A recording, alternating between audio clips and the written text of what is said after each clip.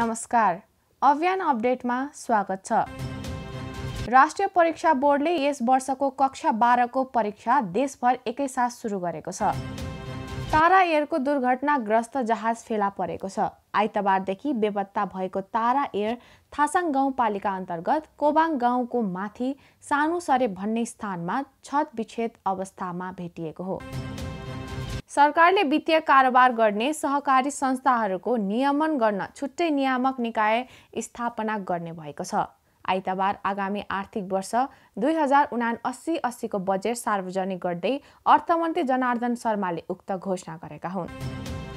आफ्नै लगानीमा सरकारले हाल काठमाडौँ तराई द्रुत मार्ग बनाइरहेका बेला मुलुकमा थप चारवटा द्रुत मार्ग बनाउने घोषणा गरिएको छ। आगामी आर्थिक वर्ष दुई हजार उना अस्सी अस्सीको बजेट वक्तव्य मार्फत सरकारले उक्त घोषणा गरेको हो। अर्थमन्त्री जनार्दन शर्माले आइतबार संसदमा बजेट प्रस्तुत गर्दै थप द्रुत मार्ग बनाउने घोषणा गरेका हुन्। आन्तरिक उत्पादन र उत्पादकत्व वृद्धि गर्दै आयात प्रतिस्थापनलाई प्राथमिकतामा राखेको आगामी आर्थिक वर्षको बजेटमा निर्यातमा नगद अनुदानको सीमा वृद्धि गरेको छ। सरकारले कृषि क्षेत्रको रूपान्तरण तथा सरकारी निजी र सहकारी क्षेत्रको सहकार्यमा उत्पादन वृद्धि रोजगारी सृजना र गरिबी निवारण गर्ने भन्दै आगामी आर्थिक वर्ष दुई हजार उना अस्सी अस्सीका लागि झन्डै अठार खर्बको बजेट सार्वजनिक गरेको छ। बजेटले निजी क्षेत्रलाई आर्थिक वृद्धिको इन्जिन मानेको छ।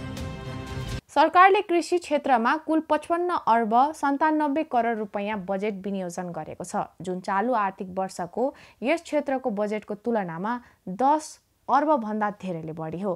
चालु आर्थिक वर्षमा कृषि तथा पशुपन्छी विकासतर्फ सरकारले पैँतालिस अर्ब नौ करोड रुपियाँ बजेट विनियोजन गरेको थियो।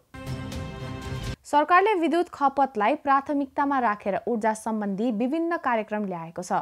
विद्युत उत्पादन बढ्दै गए पनि खपत बढाउने खास योजना सरकारबाट आउन सकेको थिएन। तर आगामी आर्थिक वर्षको बजेट मार्फत सरकारले विद्युत खपत बढाउने गरी विभिन्न कार्यक्रम ल्याएको छ।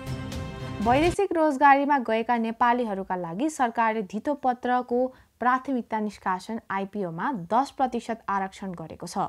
सरकारले आइतबार सार्वजनिक गरेको आगामी आर्थिक वर्ष दुई हजार उना अस्सी अस्सीको बजेटमा उक्त व्यवस्था गरेको हो। नेपालको धितोपत्र बजारमा वैदेशिक रोजगारीमा गएका नेपालीहरूको लगानी आकर्षित गर्न यस्तो व्यवस्था गरिएको हो। हस्त अहिले यति नै। अभियान अपडेट हेर्दै गर्नुहोला। नमस्कार।